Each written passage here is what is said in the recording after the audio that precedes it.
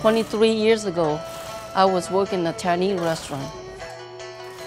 I do everything. I wait table, I bus table, I wash dishes, I working real hard. And that owner treat me so bad, so I just quit. So a couple other people quit with me.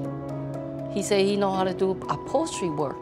So I said, okay, I'm gonna go and be uh, my own business. Okay, let's do it. We did no advertising. It was just strictly customer satisfaction, them being happy, and they referred other people to us. And that's how she started this business.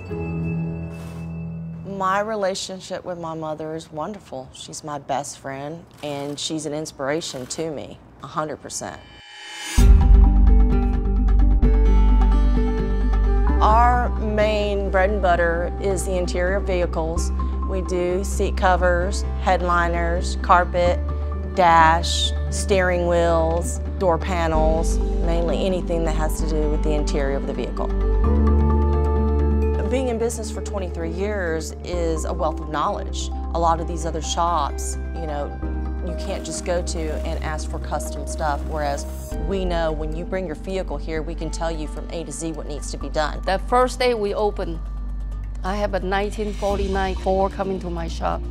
Uh, from that day on, here we are, 23 years later. My mom is so knowledgeable in this area. It's just incredible. That's why we've been in business for 23 years.